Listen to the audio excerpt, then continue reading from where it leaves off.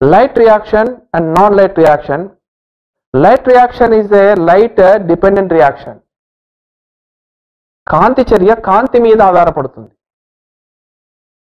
నిష్కాంతి చర్య కాంతి ప్రమేయము లేకుండా జరుగుతుంది నిష్కాంతి చర్య జరిగే ప్రాంతం ఆవర్ణిక ప్రాంతం కాంతి చర్య జరిగే ప్రాంతము థైలకాడ్ మెంబ్రెయిన్స్ ప్రాంతం ఆ థైలకాడ్ మెంబ్రెయిన్స్ అనేవి రెండు రకాలు ఉన్నాయి. గ్రానా థైలకాయిడ్స్ గుంపులు గుంపులుగా ఒకదానిపై అమర్చబడినటువంటి నిర్మాణాలు ఉన్నాయి కదా అక్కడ మీరు కనిపిస్తున్నాయి. ఆ కనిపించిన విషయాలు చూస్తే మీకు అర్థమవుతుంది. Grana thylakoids stroma thylakoids grana stroma thylakoids యొక్క కోఆర్డినేషన్తో కాంతి చర్య జరుగుతుంది. ఓకే కాంతి చర్య కాంతి సమక్షంలో జరుగుతుంది. దానివల్ల శక్తి ఉత్పన్నమవుతుంది. Let discuss one by one what is light reaction light reaction అంటే ఏంటి? కాంతి చర్య.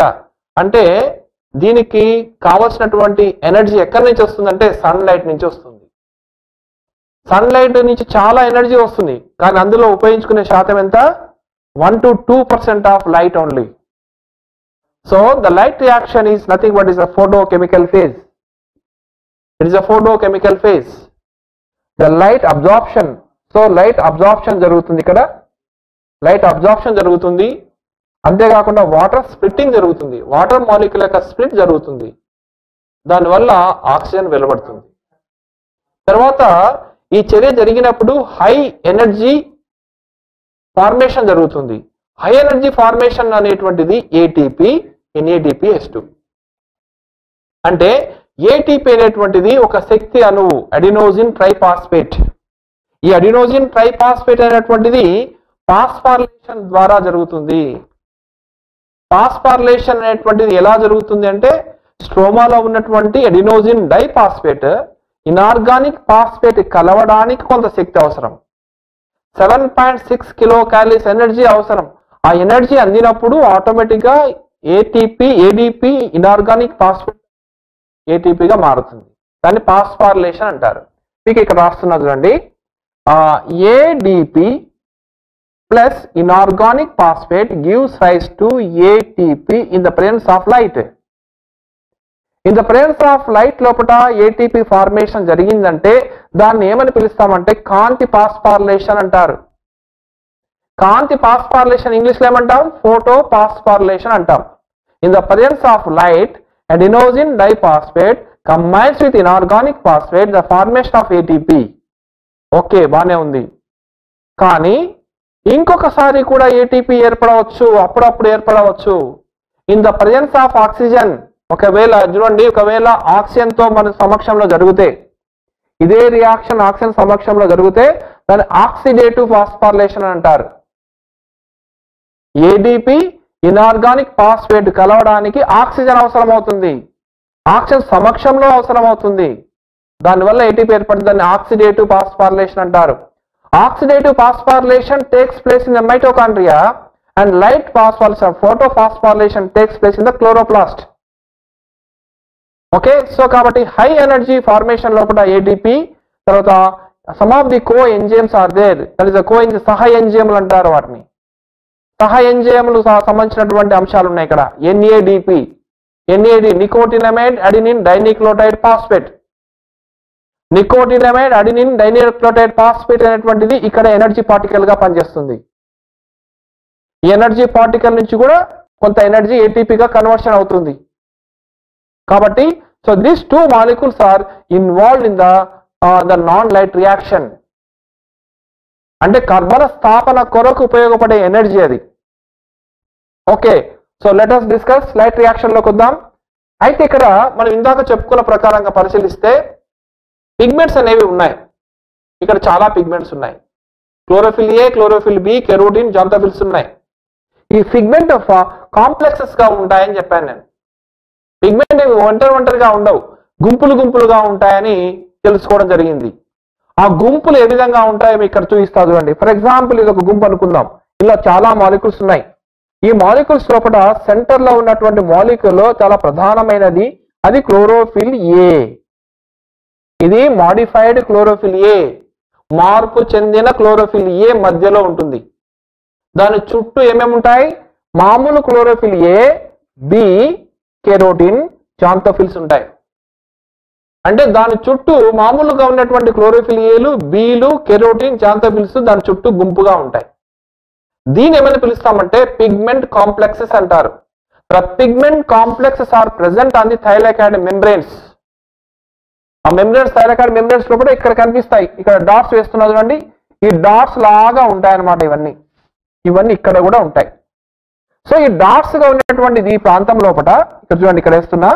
ఇది చూడండి ఈ డాట్స్ ఇవి అనుకుందాం. ఈ డాట్స్ ఇక్కడ ఉన్నాయి. ఇవన్నీ డాట్స్ ఈ డాట్సే ఇది. ఈ డాట్ లోపల మధ్యలో ఉన్నటువంటి ఈ మాలిక్యూల్ ఏమని పిలుస్తున్నాము? రియాక్షన్ సెంటర్ అంటున్నారు. చర్యా కేంద్రకము. చుట్టూ ఉన్నటువంటి వాటిని ఏమని పిలుస్తామంటే ఎల్సి అంటే లైట్ హార్వెస్టింగ్ కాంప్లెక్స్ అంటారు. ఎల్హెచ్సి అంటారు. Light harvesting complex. క్లోరోఫిల్ పత్రహరిత సంక్లిష్టము అంటారు. కాంతి పత్రహరిత సంక్లిష్టము. Light harvesting complex. కాంతి పత్రహరిత సంక్లిష్టము అంటారు. ఈ పత్రహరిత సంక్లిష్టం అనేటువంటిది మధ్యలో ఉన్న క్లోరోఫిల్ ఏను రక్షించడానికి కొరకు గుంపుగా తయారవుతాయి ఒకవేళ మధ్యలో చర్యా కేంద్రకాలు రెండు రకాలుగా అనిపిస్తాయి. అందులో మనం పిగ్మెంట్ సిస్టమ్ వన్ తీసుకున్నట్టయితే ఇక్కడ రాస్తున్నదండి పిగ్మెంట్ సిస్టమ్ వన్. అంటే వర్ణద్రవ్య వ్యవస్థ ఒకటిగా ఉన్నప్పుడు ఇందులో ఒక డాట్ తీసుకుందాం. ఈ డాట్ మనం ఏమనుకుందాం అంటే పిఎస్ వన్ అనుకుందాం అనుకుందాం దీన్ని. ఇదేమో ఈ పిఎస్ టూ అనుకుందాం. ఇది పిఎస్ టూ. పిఎస్ టూ అనుకుందాం. ఈ పిగ్మెంట్ సిస్టమ్ వన్ అనేటువంటి ఈ దీనితో పరిశీలిస్తే ఇందులో దీని చుట్టూ ఉన్నటువంటి మాలిక్యూల్స్ ఏమో లైట్ హార్వెస్టింగ్ కాంప్లెక్స్ వన్ అంటారు. మధ్యలో ఉన్నటువంటి చర్యా కేంద్రకాన్ని ఏమని పిలుస్తామంటే పిగ్మెంట్ సెవెన్ హండ్రెడ్ అంటారు. ఓకే? ఇది పిగ్మెంట్ సెవెన్ హండ్రెడ్గా పనిచేస్తుంది. నేను ఇక్కడ రాస్తున్నది చూడండి. Pigment seven hundred. ఈ పిగ్మెంట్ సెవెన్ హండ్రెడ్ అనేటువంటిది ఎందుకు ఉంది అంటే అది లైట్ ఎనర్జీని ఎంతవరకు అబ్జార్ప్షన్ చేస్తుందంటే up to the seven hundred nanometres of wavelength of light. అంతవరకు తీసుకోగలిగే కెపాసిటీ కలిగినటువంటి రియాక్షన్ సెంటర్ని పిగ్మెంట్ సెవెన్ హండ్రెడ్ అంటారు. ఓకే బాగానే ఉంది కదా? అయితే దీని గురించి ఇంకా కొంత విషయం మాట్లాడదాం. చుట్టూ ఉన్నటువంటి మాలిక్యూల్స్ను అదనపు మాలిక్యూల్స్ అంటారు ఎక్సెసరీ పిగ్మెంట్స్ అంటారు. అదనపు మాలిక్యూల్స్ ఏం చేస్తాయంటే మధ్యనున్న మాలిక్యూల్ రక్షిస్తాయి. ఫర్ ఎగ్జాంపుల్ ఒక సారు చుట్టూ ఒక పది మంది ఉన్నారు. పది మంది ఇరవై మంది ఉన్నారు. ఎప్పుడు సార్ను రక్షిస్తూ ఉంటారు వాళ్ళు? ఎవరు మధ్యలోకి రానియరు. సార్ మధ్యలో ఎట్లా ఉంటాడు? సార్ రియాక్షన్ సెంటర్గా ఉంటాడు. చుట్టూ పిల్లలు ఉంటారు చుట్టూ ఉన్నటువంటి పిల్లలేమో అదనపు వర్ణ ద్రవ్యాలు మధ్యలో ఉన్న సారు రియాక్షన్ సెంటర్గా ఉంటారు. ఏదైనా నోటీస్ బోర్డ్ నోటీస్ ఏదైనా తీసుకొని వచ్చారనుకోండి ఎవరు ఆఫీస్ నుంచి నోటీస్ తీసుకొచ్చారనుకోండి ఏమవుతుంది? ఫస్ట్ నోటీస్ సార్ దగ్గరికి వెళ్తుందా? డైరెక్ట్ వెళ్ళదు. పిల్లల దగ్గరికి వెళ్తుంది. పిల్లల దగ్గర నుంచి ఇంకొక పిల్లలకి వస్తుంది. ఆ తర్వాత నా దగ్గరికి వస్తుంది. ఆ నోటీస్ను పిల్లలకి చదువుతా నేను. అంటే ఆ వచ్చినటువంటి ఆ యొక్క నోటీస్ను నేను చెప్తే తప్ప మీకు తెలియదు. ఇది కూడా అంతే సేమ్. మధ్యలో ఉన్న క్లోరోఫిల్ ఏ అనేటువంటిది ఉన్న సున్నితంగా ఉన్నప్పటికీ చాలా ఎనర్జెటిక్గా ఉన్నప్పటికీ అది ఎనర్జీని ఎక్కడ తీసుకొని వస్తుంది? చుట్టుపక్కలటువంటి అణువుల ద్వారా స్వీకరించిన తరువాత అది యాక్టివేట్ అవుతుంది. సో అట్లా యాక్టివేట్ అయ్యేటువంటి ఆ యొక్క అణువుని ఏమంటారంటే చర్యా కేంద్రకం అంటారు. రియాక్షన్ సెంటర్ ఆర్సి ఆర్సి అని పిలుస్తారు. పిఎస్ వన్లో ఆర్సి ఉంటుందమ్మా? పిగ్మెంట్ సెవెన్ హండ్రెడ్ ఉంటుంది. అందులో ఇంకా కొన్ని విషయాలు చెప్తున్నాం చూడండి ఇక్కడ లైట్ హార్వెస్టింగ్ కాంప్లెక్స్ లోపల వన్ అనేటువంటిది పిఎస్ వన్లో ఉంటుంది. రియాక్షన్ సెంటర్ ఏముంటుంది? పి సెవెన్ హండ్రెడ్ ఉంటుంది. అందులో ఎక్కువగా కెరోటిన్స్ ఉంటాయి. అందులో ఎక్కువ కెరోటిన్స్ ఉంటాయి. జాంతోఫిల్స్ తక్కువ ఉంటాయి.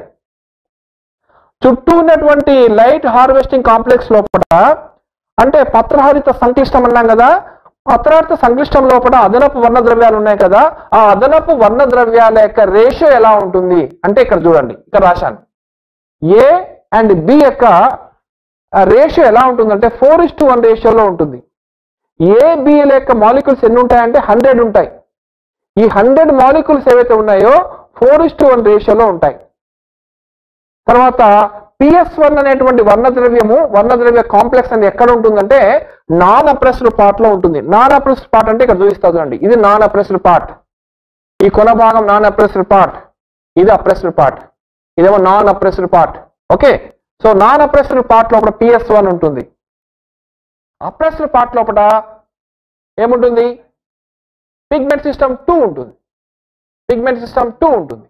Let us see that another one pigment system two. వర్ణద్ర వ్యవస్థ రెండు. వర్ణద్ర వ్యవస్థలో కూడా రెండు భాగాలు ఉన్నాయి రెండు భాగాల లోపల మధ్యలో ఉన్నటువంటి దాన్ని మనం చర్యా కేంద్రకం అంటారు. చుట్టూ ఉన్నటువంటి వాటిని లైట్ హార్వెస్టింగ్ కాంప్లెక్స్ అంటారు. దీన్ని ఏమని పిలవాలి? లైట్ హార్వెస్టింగ్ కాంప్లెక్స్ టూ మధ్యలో ఉన్న దాన్ని ఏమని పిలవాలమ్మా? ఒకవేళ ఇక్కడ మనకు ఇలా వేసినట్టయితే ఇక్కడ వేస్తున్నాం చూడండి. ఇక్కడ ఫర్ ఎగ్జాంపుల్ ఇక్కడ వేసాము. ఇందులో మధ్యలో ఉన్నటువంటి పిగ్మెంట్ సిస్టమ్ సిక్స్ ఎయిటీ అన్నాను నేను. చుట్టూ మాలిక్యూల్స్ ఉన్నాయి. అంటే దీన్ని వెమ్మటం పిఎస్ టూ అని పిలుస్తున్నాం. అంటే పిఎస్ టూలో మాలిక్యూల్స్ మధ్యలో ఉన్నటువంటి మాలిక్యూల్ ఏదైతే ఉందో దీన్ని పిగ్మెంట్ సెవెన్ హండ్రెడ్ అని పిలుస్తున్నాము. అంటే అర్థం ఏమిటంటే ఆ వేవ్ లెంత్ ఆఫ్ లైట్ ఎంత వరకు గ్రహిస్తుంది అంటే six eighty nanometres of wavelength of light వరకు గ్రహిస్తుంది. Below six eighty below six eighty వరకు అంటే up to six eighty up to six eighty వరకు గ్రహించగలిగే కెపాసిటీ కలిగినటువంటి మాలిక్యూల్ని పిగ్మెంట్ సిక్స్ ఎయిటీ అంటారు. అబౌవ్ సిక్స్ ఎయిటీ నుంచి సెవెన్ హండ్రెడ్ వరకు గ్రహించే మాలిక్యూల్ ఏమంటా అంటే పిగ్మెంట్ సెవెన్ హండ్రెడ్ అని పిలుస్తారు. So there are two pigment systems are there pigment system one the reaction centre is seven hundred and light harvesting complex one and the A B యొక్క four unappressed పార్ట్లో ఉంటుంది. Okay right next pigment system two pigment system two having two two components harvesting complex two in the reaction centre the reaction centre is pigment six eighty okay ఎలా ఉంటుంది? AB యొక్క ratio AB యొక్క ratio ఇక్కడ చూస్తున్నాం చూడండి. AB యొక్క ratio two fifty ఉంటుంది. ఇందులో one is to one ratio ఉంటుంది. ఇది ఎక్కడ ఉంటుంది? అప్రెస్డ్ పార్ట్లో ఉంటుంది. అప్రెస్డ్ పార్ట్లో ఉంటుంది. టూ ఫిఫ్టీ మాలిక్యూల్స్తో ఏర్పడుతుంది. వన్ ఇస్ టు వన్ రేషియోలో ఉంటుంది. కానీ ఇక్కడ అక్కడ ఏం చెప్పాను? మోర్ కెరోటిన్ అన్నాం కదా ఇక్కడ more xanthophylls are present more xanthophylls are present in the PS two right okay so two pigment systems are in in the membranes. These two pigment systems are involved in the electron transport. సాధారణంగా electron transport అంటే మైటోకాండియాలోనే మనకు గుర్తొస్తుంది. చిన్నప్పుడు electron transport అంటే మైటోకాండియానే గుర్తొచ్చేది. కానీ తర్వాత తెలుసుకున్న విషయం ఎలక్ట్రాన్ ట్రాన్స్పోర్ట్ అనేది ఎలక్ట్రాన్ రవాణాలో అనేటువంటిది ఇక్కడ మైటోకాండ్రియాలో జరుగుతుంది క్లోరోప్లాస్ట్లో కూడా జరుగుతుంది అనే విషయాన్ని మనం తెలుసుకోవాలి. థైలకాడ్ మెంబ్రేన్ థైలకాడ్ త్వచాలలో జరిగేటటువంటి ఎలక్ట్రాన్ రవాణా. అక్కడ మైటోకాండ్రియాలో పరిశీలిస్తే ఇన్నర్ మెంబ్రేన్ ఇన్నర్ మెంబ్రేన్ ముడతలు పడి ఉంటుంది. Inner membrane inverted to the matrix. That uh, the matrix uh, దగ్గరగా ఉన్నటువంటి ఆ ముడత ఏదైతే ఉందో ఆ ముడతను మనం క్రిస్టే అని పిలుస్తారు. క్రిస్టే పైన ఏముంటాయి? F zero F one particles ఉంటాయి. F zero F one particles ద్వారా ఏటీపీ ఏర్పడుతుంది. ఇక్కడేమో థైలకాయిడ్ మెంబ్రేన్లో మధ్యలో ఉన్న ఖాళీ స్థలం చూస్తున్నాం చూడండి. ఈ ఖాళీ స్థలం చూసే కదా? ఈ ఖాళీ స్థలం లూమెన్ అని పిలుస్తున్నాం. ఈ లూమెన్ కూడా ప్రోటాన్లు చేరి తిరిగి తిరిగి మళ్ళీ బయటకు వస్తాయన్నమాట. నేను ఒకటి వేస్తున్నా చూడండి. దీని నుంచి ఒక చిన్న పొడవైన నిర్మాణం వేస్తున్నా. రౌండ్ నిర్మాణం. రైట్ సో ఈ నిర్మాణాన్ని ఏమన్నా అంటే F zero F one particles అంటారు. F zero F one particle అనేటువంటిది దీని ద్వారా ఏటీపీ ఏర్పడుతుంది. ఇది ఎందులో? హరిత రేణువు లోపల అదే మైటోకాండ్రియల్ అయితే మైటోకాండ్రియల్ లోపల చూసినట్టయితే మనకు ముడత ఇలా వస్తుంది ఈ ముడత వస్తుంది. ఈ ముడత నుంచి ఒక చిన్న పొడుగు పొడుగాటి నిర్మాణం ఏర్పడుతుంది ఇక్కడ. ఇది నిర్మాణం నిర్మాణం ఏర్పడుతుంది. సో ఈ నిర్మాణాన్ని ఇక్కడ ఏమని పిలుస్తున్నాం? F zero F one particle అంటున్నారు. F zero F one particle is ATP synthase it's a protein ప్రోటాన్లు ఎక్కడ చేరుతాయి అంటే ఇక్కడ చూడండి మైటోకాండ్రియా లోపల ఇక్కడ ఏ విధంగా అయితే లూమెన్ ఉందో అక్కడ కూడా లూమెన్ లాంటి ప్రదేశం ఉంది. అది ఏమిటి అంటే peri మైట్రోకాండియల్ space. Perimitochondrial space అంటే రెండు త్వచాల మధ్య స్థలం ఏదైతే ఉందో ఆ స్థలాన్ని పెరీ పెరి మైట్రోకాండియల్ స్పేస్ అని పిలుస్తారు. మధ్య త్వచ స్థలం అని పిలుస్తారు. ఆ మధ్య త్వచ స్థలం లోపల ఇక ప్రోటాన్లు ఎక్కువగా చేరుతాయి. చేరి తర్వాత ఏటీపీ సింథేజ్ ద్వారా బయటికి వచ్చినప్పుడు ఏటీపీ ఏర్పడుతుంది. So this is the the difference between the photophosphorylation oxidative phosphorylation okay two pigments are involved pigment system one pigment system two right okay బానే ఉంది. ఇప్పుడు మనము ఈ రెండు పిగ్మెంట్ సిస్టమ్ల సహాయంతో ఎలక్ట్రాన్ రవాణా జరుగుతుంది. So according to the scientist the electron transport may be two types cyclic electron transport and a non-cyclic electron transport. చక్రీయ ఎలక్ట్రాన్ రవాణా అచక్రీయ ఎలక్ట్రాన్ రవాణా అని పిలుస్తారు. దీనికి ఇంకో పేరుతో కూడా పిలవచ్చు. చక్రీయ ఫోటో పాస్పార్లేషన్ అని అచక్రీయ ఫోటో పాస్పార్లేషన్ అని పిలుస్తారు. సో ఈ రెండు కూడా జాగ్రత్తగా పరిశీలిద్దాం. ఓకే సో ఇక్కడ చూడండి నేను ఇక్కడ ఒక డయాగ్రామ్ వేశాను. ఇది పిఎస్ టూ ఇది పిఎస్ వన్ ఓకే బాగానే ఉంది. పిఎస్ టూ దగ్గర light harvesting complex PS LS LSC light harvesting complex two ఉంది. దీని ద్వారా లైట్ను అబ్జర్వ్ అబ్జార్బ్ చేయబడింది. అంటే లైట్ ఇక్కడ వచ్చి దీనికి అబ్జార్బ్ చేయడం జరిగింది. లైట్ హార్వెస్టింగ్ కాంప్లెక్స్ లైట్ను స్వీకరించిన తర్వాత ఎక్కడికి పంపిస్తుందమ్మా? పిగ్మెంట్ సిస్టమ్ టూకు పంపిస్తుంది. పిగ్మెంట్ సిస్టమ్ టూకు పంపించిందని అర్థం ఏంటి? అందులో పిగ్మెంట్ సిక్స్ ఎయిటీకి పంపిస్తుంది అనమాట అదే విధంగా ఈ సైడ్ చూడండి. పిగ్మెంట్ సిస్టమ్ టూ ఉంది పిగ్మెంట్ సిస్టమ్ వన్ ఉంది. ఈ వన్ లోపల లైట్ హార్వెస్టింగ్ కాంప్లెక్స్ వన్ ఉంది. ఈ లైట్ ద్వారా లైట్ స్వీకరిస్తుంది. ఆ light energy transfer to PS two PS one ఇందులో పిఎస్ వన్ అని అర్థం ఏంటి? పిగ్మెంట్ సెవెన్ హండ్రెడ్ సెవెన్ హండ్రెడ్కు పంపిస్తుంది. ఇక్కడ ఏం జరుగుతుందో చూడండి. This energy whenever releasing the receiving the energy so the pigment six eighty activated activated అంటే బూస్ట్ స్థాయి నుంచి యాక్టివేటెడ్ అవుతే స్థాయిలోకి వస్తుంది ఉత్తే స్థాయికి వచ్చిన తర్వాత ఎలక్ట్రాన్ రిలీజ్ చేస్తుంది. ఈ ఎలక్ట్రాన్స్ ఏమైతాయంటే రకరకాల ఎలక్ట్రాన్ వాహకాల ద్వారా ప్రవాహం ప్రవా ప్రయాణించి మళ్ళీ చివరికి ఎక్కడికి వస్తుంది? పిఎస్ వన్కి వస్తుంది. అదే విధంగా పిఎస్ వన్ నుంచి ఎలక్ట్రాన్ ఇక్కడికి వచ్చిన తర్వాత ఈ పిఎస్ వన్ కూడా సేమ్ యాజ్ ఇట్గా ఎక్సైటెడ్ అయ్యి పిగ్మెంట్ స్టార్గా తయారై ఆ తర్వాత ఎలక్ట్రాన్ రిలీజ్ చేసినప్పుడు ఎలక్ట్రాన్ రిలీజ్ అయిన తర్వాత అన్నోన్ కాంపౌండ్ ద్వారా పిఎన్ఆర్ ఎంజైమ్ ద్వారా ఇక్కడ చూడండి ముఖ్యంగా గమనించినట్టయితే plastoquinone. Yes okay. So ferredoxin ఇవన్నీ ప- ఎలక్ట్రాన్ రవాణాకు తోడ్పడేటువంటి పదార్థాలు. పెరిడాక్సిన్ అనేటువంటి పదార్థం ఇక్కడ ఉంటుంది ఎఫ్డి అంటారు దీన్ని. పెరిడాక్సిన్ ఉంటుంది. ఈ ఎఫ్డి ద్వారా ఇక్కడ చేరి ఎఫ్ఎన్ఆర్ ఎంజైమ్ సహాయం చేత ఎన్ఏడిపిఎస్ టు ఆవర్ణిక వైపు ఏర్పడుతుంది. ఇక్కడైతే ఎలక్ట్రాన్ రవాణా ద్వారా ఇక్కడ ఏమైతుందంటే ఎలక్ట్రాన్ రవాణా ఏడీపీ ఇన్ఆర్గానిక్ ఫాస్ఫేట్ కలిసి ఏటీపీగా మారుతుంది లూమెన్ లోపల. So this is the non cyclic electron transport దాని గురించి డీటెయిల్గా మనం మాట్లాడబోతున్నాం. ఎలక్ట్రాన్ ట్రాన్స్పోర్ట్ లోపల there are two types of electron system cyclic electron transport and non cyclic electron transport cyclic photophosphorylation non cyclic discuss cyclic and non cyclic photophosphorylation or n- cyclic non-cyclic electron transport. So non-cyclic electron transport actually takes place in the oppressed region, the grana thylakoids. So you can, you can see that uh, this is a grana, grana thylakoids లోపల ఇది జరుగుతుంది so ఇక్కడ PS one and PS two both are present PS two and PS one both pigment systems are present అని grana థైలగైడ్స్ ఈ రెండింటి సహాయంతో జరిగేది non cyclic electron transport అలా కాకుండా ఓన్లీ పిఎస్ తో for example here the PS one is there non appressed part here we can observe that cyclic electron transport In non-cyclic electron transport, we'll observe that the two molecules are formed, that is the ATP and ADPS2. But whereas the, in cyclic electron transport, only ATP formation, no the production of NADPH2. The, because the, the enzyme is absent, PFNR enzyme is absent. This FNR enzyme is absent in the PS1. But at the time of PS1 PS2 combination, the PNR FNR enzyme is present in the grana thylakoids. So grana thylakoids, whenever two pigment systems are involved, uh, the production of ATP and production of NADPS2.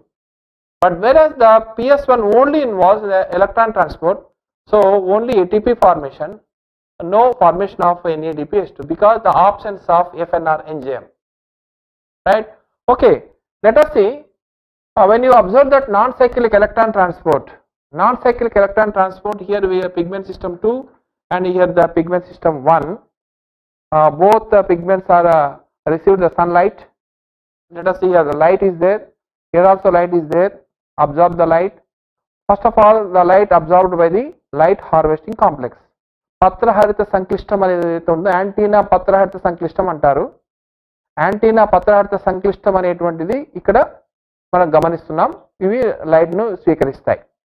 స్వీకరించిన తర్వాత ఆ లైట్ను మనం ఎక్కడ ఆ ఫోటాన్స్ని ఎక్కడికి చేరుస్తాయి pigment system seven hundred కానీ లేదా పిగ్మెంట్ సిస్టమ్ సిక్స్ ఎయిటీకి ట్రాన్స్ఫర్ చేస్తాయి. ఆ తర్వాత అదేమవుతుంది? పిగ్మెంట్ సిక్స్ ఎయిటీ అనేది భూ స్థాయి నుంచి ఎక్సైటెడ్ స్టేజ్లోకి వెళ్ళిపోతుంది. భూ స్థాయి నుంచి ఎక్సైజ్ స్టేజ్లోకి వెళ్ళిపోతుంది. వెళ్ళిపోయిన తర్వాత అక్కడి నుంచి ఎలక్ట్రాన్ రిలీజ్ అవుతాయి. ఎలక్ట్రాన్ రిలీజ్ అయినప్పుడు ఇక్కడ చూడండి first of all the electron received by the pheophytin pheophytin కూడా క్లోరోఫిల్ ఏ లాంటిదే కానీ మధ్యలో మెగ్నీషియం ఉండదు. ఇది ఒక ప్రోటీనే. ఈ ఫియోఫైటిన్ పిఎస్ టూ నుంచి మొట్టమొదట ఎలక్ట్రాన్ స్వీకరించే పదార్థంగా మనం తెలుసుకోవాలి. తర్వాత ఎలక్ట్రాన్స్ ఎక్కడికి ట్రాన్స్ఫర్ అవుతాయి అంటే between the this pheophytin and PS one అంటే పిగ్మెంట్ సెవెన్ హండ్రెడ్ మధ్యలో చాలా ఎలక్ట్రాన్ వాహకాలు ఉన్నాయి. ఐరన్ సల్ఫర్తో ఉన్నటువంటి ఎలక్ట్రాన్ వాహకాలు ఉన్నాయి. కాపర్ కంటైనింగ్ ఎలక్ట్రాన్ వాహకాలు కూడా ఉన్నాయి. Let us verify that for example ఇక్కడ చూడండి. ఇందులో మనకు క్వినోన్ అనేటువంటి క్వినోన్ సైకిల్ క్యూ సైకిల్ అంటాం. ఈ క్యూ అనేటువంటిది మనం ఏమని పిలుస్తామంటే సెమీ క్వినోన్ ప్లాస్టో సెమీ క్వినోన్గా ఉంటుంది. తర్వాత ప్లాస్టో క్వినోల్గా మారుతుంది. అంటే దీని ఇక్కడ జరిగేటటువంటి రియాక్షన్స్ అన్ని కూడా క్వినోల్ సైకిల్ రియాక్షన్స్ అంటారు. అంటే క్వినోల్ సైకిల్లో జరిగే రియాక్షన్స్ వల్ల ఏం లాభం అంటే ముఖ్యంగా ప్రోటాన్లు అనేవి ట్రాన్స్లొకేషన్ అవుతాయి. ఎక్కడి నుంచి ట్రాన్స్లొకేషన్ అవుతాయి? The protons are translocated from the stroma to lumen లూమెన్లోకి transfer అవుతాయి. At the same time quinol cycle వల్ల ఏం లాభం అంటే electrons are transferred from the pheophytin to which one the cytochrome B six cytochrome B అవుతాయి. ఆ తర్వాత plastocyanin PC అంటారు. ప్లాస్టోసైనిన్కి ట్రాన్స్ఫర్ అవుతాయి. So between the this PS two and PS one there are different electron carriers are present the the proton, proton electron carriers are receiving the electrons sending the electrons from one uh, electron carrier to another electron carrier. See here from pheophytin q uh, after that uh, cytochrome b6 cytochrome f and uh, plastocyanin so here the cytochrome b6 and cytochrome f uh, iron sulfur containing proteins.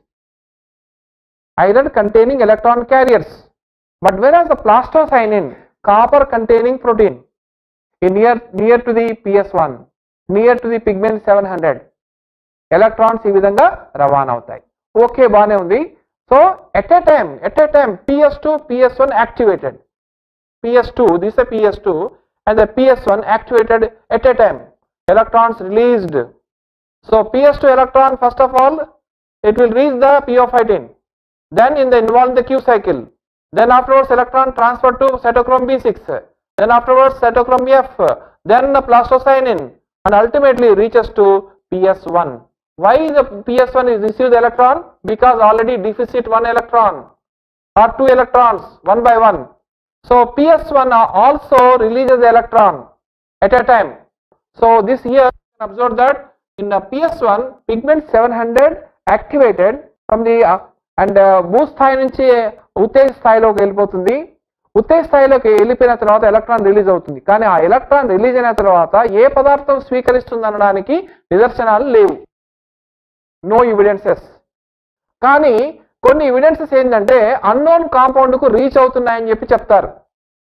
Unknown compounds ఏవంటే ఇక్కడ చూడండి ఏ zero so ఏ జీరోని ఏమని పిలుస్తామంటే already so modified chlorophyll A ఇది modified chlorophyll ఏ అనేటువంటిది ఇక్కడ ఉంది అని చెప్పి చెప్తున్నారు. తర్వాత ఏ వన్ దీన్ని ఫిల్లోక్వినోన్ అంటారు. A one is phylloquinone తర్వాత ఎఫ్ఎక్స్ ఎఫ్ఏ బై ఎఫ్బి ఇలాంటి అన్నోన్ కాంపౌండ్స్ ద్వారా ఎలక్ట్రాన్ రవాణా అయ్యి చివరికి ఎక్కడికి పోతుందంటే పెరిడాక్సిన్ చేరుతుంది. FD FD is a ferredoxin ఈ పెరిడాక్సిన్ దగ్గర ఒక ఎంజైమ్ ఉంది. అది ఎక్కడ ఎటువైపు ఉందంటే ఆవర్ణిక వైపు ఉంది స్ట్రోమా వైపు ఉంది. ఆ స్ట్రోమా వైపు ఉన్నటువంటి ఆ ఎంజైమ్ ఏంటంటే ఎఫ్ఎన్ఆర్ ఎంజైమ్ అంటారు. ఎఫ్ఎన్ఆర్ ఎంజైమ్ అంటే అర్థం ఏమిటంటే పెరిడాక్సిన్ ఎన్ఏడిపి ఆక్సిడో రిడక్టేజ్ అనేటువంటి ఎంజైమ్ ఉంది. ఈ ఎంజైమ్ వల్ల ఏమవుతుందంటే ఇక్కడ ఎఫ్డి యొక్క సహాయంతో ఎఫ్డి తీసుకున్నటువంటి ఎలక్ట్రాన్స్ అనేవి దేనికి సప్లై చేయబడతాయి? ఎన్ఏడి సప్లై చేయబడతాయి. అంటే ఆవర్ణికలో ఉన్న ప్రోటాన్ల సహాయంతో అబ్జార్ప్షన్ అయ్యి అది ఏమవుతుందంటే ఆ ప్రోటాన్లు ఈ ఎలక్ట్రాన్ రెండు కలిసి ఎన్ఏడిపిఎస్ టూగా మారుతుంది. Reduced nucleotide dinucleotide phosphate is formed with help of PS1 right okay? So let us see here PS2 నుంచి ఎలక్ట్రాన్స్ ఈ విధంగా రవాణాయి క్యూ సైకిల్ ద్వారా cytochrome B six cytochrome F plastocyanin ultimately reaches to PS one that's pigment seven hundred and uh, ఇక్కడ ఉన్నటువంటి electron ఎట్లా transfer అయింది? ఈ పిగ్మెంట్ సిక్స్ సెవెన్ హండ్రెడ్ నుంచి ఎలక్ట్రాన్ ఎక్సైటెడ్ స్టేజ్లోకి వెళ్ళి ఆ తర్వాత ఎలక్ట్రాన్ రిలీజ్ అయినాయి. అన్నోన్ కాంపౌండ్ ద్వారా అది ట్రాన్స్ఫర్ అయినాయి. A zero A one F A by F B ఆ తర్వాత ultimately reaches the ferredoxin ferredoxin దగ్గర ఎఫ్ఎన్ఆర్ ఎంజైమ్ యొక్క సహాయంతోన ఎన్ఏడిపిఎస్ ఏర్పడింది. ఓకే బానే ఉంది. ఇక్కడ ఎలక్ట్రాన్ డిఫిసిట్ అయిన కావడం వల్ల పిఎస్ టూ సప్లై చేయబడింది. సో పిఎస్ టూ దగ్గర ఎలక్ట్రాన్ డిఫిసిట్ ఏర్పడింది. ఆ డిఫిసిట్ ఎవరు ఫుల్ఫిల్ చేసే చేశారు? పిఎస్ టూ ఫుల్ఫిల్ చేసింది. మరి పిఎస్ టూకి ఎవరు ఫుల్ఫిల్ చేయాలి? పిఎస్ టూకి ఎవరు ఫుల్ఫిల్ చేయాలి? అన్నప్పుడు ఇక్కడ ఒక చిన్న క్వశ్చన్ మార్క్ ఏర్పడుతుంది. అప్పుడు ఏమవుతుందంటే ఇక్కడ చూడండి పిఎస్ టూ దగ్గర లూమెన్ సైడ్ ఒక ఆక్సిజన్ నిర్గమన సంక్లిష్టం అని ఉందండి. ఆక్సిజన్ నిర్గమన సంక్లిష్టం ఆక్సిజన్ ఎవల్యూషన్ కాంప్లెక్స్ అంటారు దీన్ని. ఈ ఆక్సిజన్ ఎవల్యూషన్ కాంప్లెక్స్ ఏదైతే ఉందో oxygen evolution complex Here, what will happen water molecule ఇక్కడ డిప్లీషన్ అవుతుంది. వాటర్ మాలిక్యూల్ డిప్లీషన్ కావడానికి మనం చూస్తూ ఉన్నాం కాల్షియం మ్యాంగనీస్ ఓకే సో ఇలాంటి కొన్ని మూలకాల యొక్క సహాయంతోన ఇక్కడ ఏదవుతుందంటే మామూలుగా వాటర్ మాలిక్యుల్ డిప్లీట్ అవుతుంది. ఫోటోలైసిస్ అవుతుంది. Okay these are some important molecules so these molecules are atoms are involved the splitting of water oxygen evolution complex దగ్గర ఏం జరుగుతుందంటే వాటర్ మాలిక్యూల్ డిప్లీట్ అవుతుంది. ఎలా? H two O gives rise to as you can see that two electron minus ion two H plus ion plus of O టూగా ఏర్పడుతుంది. So here which electrons are release from the water molecule that will be reaches to PS one ultimately reaches to P six eighty అంటే electron deficit అయినటువంటి PS two దగ్గర electron supply చేసేటువంటి పదార్థం ఏదంటే oxygen water molecule. Water molecule నుండి depletion అయినటువంటి పదార్థాలు ఏవైతున్నాయో? Electrons protons and oxygen atom. So రెండు వాటర్ మాలిక్యూల్ల సహాయంతోన ఓ టూ ఏర్పడుతుంది. సో పిఎస్ టూ దగ్గర ఆక్సిజన్ వెలబడుతుంది అనే విషయాన్ని మనం తెలుసుకోవాలి.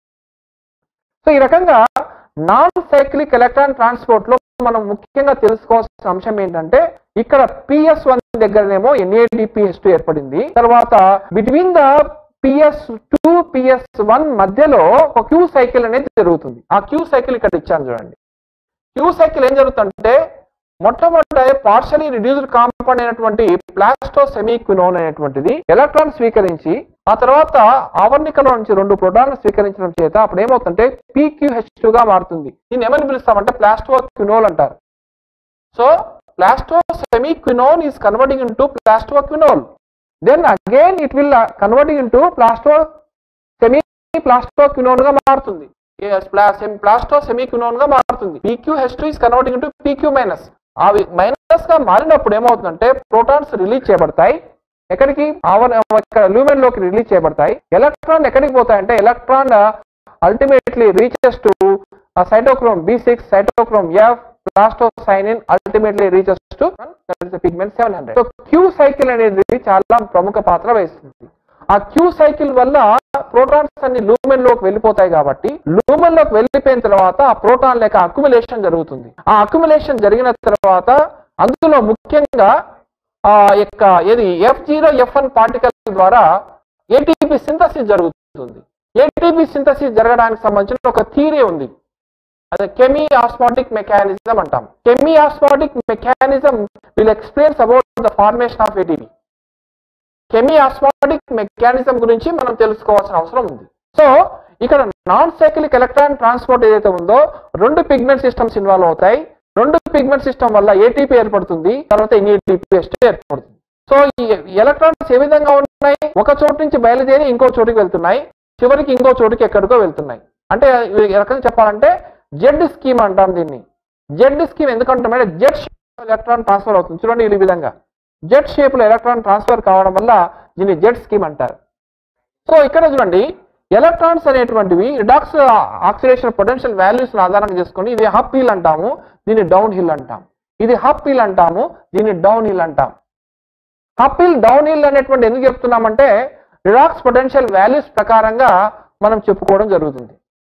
Okay so non cyclic electron transport అనేది మీకు అంటే పిఎస్ టూ నుంచి ఎలక్ట్రాన్లు పిఎస్ వన్కి ఎలా రవాణా అవుతాయి? పిఎస్ వన్ నుంచి ఎలక్ట్రాన్లు ఎక్కడికి రవాణా అవుతాయి? చూశారు. చూసి చూడండి ఒకసారి చూడండి. పిఎస్ టూ నుంచి ఎలక్ట్రాన్ పిఎస్ వన్కి వెళ్ళింది. పిఎస్ వన్ నుంచి ఆల్రెడీ ఎలక్ట్రాన్ ఎక్కడికి వెళ్ళింది? పెరిడాక్సిన్కి వెళ్ళింది. పెరిడాక్సిన్ దగ్గర అక్కడ ఎన్ఏడిపిఎస్ టూ ఫార్మేషన్కి తోడ్పడింది. ఓకే బాగానే ఉంది. పిఎస్ టూ దగ్గర ఏర్పడినటువంటి డిఫిసిట్ ఎలక్ట్రాన్స్ ఎక్కడి నుంచి అందినాయి? వాటర్ మాలిక్యూల్ నుంచి అందినాయి. సో ఇక్కడ జరిగేటటువంటి రియాక్షన్ ఏమన్నా అంటే హిల్ రియాక్షన్ అంటారు. రాబర్ట్ హిల్ అనేటువంటి శాస్త్రవేత్త వాటర్ మాలిక్యూల్ డిప్లీషన్ కావడం వల్ల ఆక్సిజన్ ఉత్పత్తి అయ్యింది అని చెప్పడం జరిగింది. అంటే వాటర్ మాలిక్యూల్ డిప్లీషన్ కావడం వల్ల ఎలక్ట్రాన్స్ రిలీజ్ అయ్యి ఆ ఎలక్ట్రాన్స్ పిఎస్కి సప్లై చేయబడ్డాయి.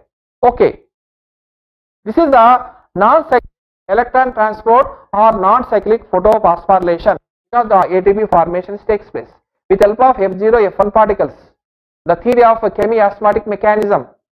So, according to chemi-osmotic mechanism, every three protons are enough for the, uh, the production of one ATP. Right so ఇక్కడ మనకు జెడ్ స్కీమ్ అని ఎందుకు అంటున్నామంటే జెడ్ షేప్ లోపల ఎలక్ట్రాన్ ట్రాన్స్పోర్ట్ జరిగింది కాబట్టి. ఓకే సైక్లిక్ ఎలక్ట్రాన్ ట్రాన్స్పోర్ట్ ఎలా జరుగుతుంది అంటే cyclic electron transport only with help of only PS one అందులో చూడండి ఒకసారి చూడండి ఇక్కడ ఏరో మార్క్ ఇచ్చాను. పిఎస్ వన్ యాక్టివేట్ అయింది. పిఎస్ టూ యాక్టివేట్ కాలేదు. ఎలక్ట్రాన్స్ అన్ని కూడా మామూలుగా లైట్ ఎనర్జీ స్వీకరించబడింది. P pigment seven hundred electron receive మామూలుగా లైట్ ఎనర్జీ రిసీవ్ చేసుకున్న తర్వాత యాక్టివేట్ అయింది. తర్వాత అన్నోన్ కాంపౌండ్ ద్వారా ప్రయాణం చేసింది. ఆ తర్వాత పెరిడాక్సిన్కి చేరింది. కానీ పెరిడాక్సిన్ చేరిన తర్వాత అక్కడ ఎఫ్ఎన్ఆర్ ఎంజమ్ లేదు. ఎఫ్ఎన్ఆర్ ఎంజమ్ లేదు. లేనప్పుడు ఏం జరిగిందంటే ఎలక్ట్రాన్స్ ఏమైతే అంటే తిరిగి ఈ ఫెరిడాక్సిన్ నుంచి ఎక్కడికి ఎక్కడికి ట్రాన్స్ఫర్ అవుతాయి? సైటోక్రోమ్ బి సిక్స్ ట్రాన్స్ఫర్ అవుతాయి. ఆ తర్వాత క్యూ సైకిల్లోకి ఎంటర్ అవుతాయి. దెన్ ఆఫ్టర్వర్డ్స్ సైటోక్రోమ్ ఎఫ్కు ట్రాన్స్ఫర్ అవుతాయి. ఆ తర్వాత ప్లాస్టోసైన్ ట్రాన్స్ఫర్ అవుతాయి? Ultimately reaches to pigment seven hundred అంటే ఎలక్ట్రాన్లు ఎక్కడి నుంచి అయితే బయలుదేరాయో తిరిగి అక్కడికే చేరుతాయి. అక్కడికే చేరడం అనేది జరుగుతుంది. సైక్లిక్ ఎలక్ట్రాన్ ట్రాన్స్పోర్ట్ అంటారు. దీనివల్ల ఏటీపీ మాత్రమే ఏర్పడుతుంది కానీ ఎన్ఏడిపిఎస్ ఏర్పడదు. ఎందుకు ఏర్పడదు అంటే స్ట్రోమా థైలకాట్స్ లోపల ఎఫ్ఎన్ఆర్ ఎంజైమ్ ఉండదు. Cyclic electron transport takes place in the stroma lamella only and the non-cyclic electron transport commonly present in the grana lamella ps1 ps2 present in the grana lamella so the ps1 ps2 involved in the non-cyclic electron transport the production of energy is atp and NADPH2. cyclic electron transport uh, only presents uh, in the uh, in the in the presence of or in the participation of the pigment system 1 and the production of ADP only. No production of NADPS2. కాబట్టి ఇది యొక్క difference ఇది.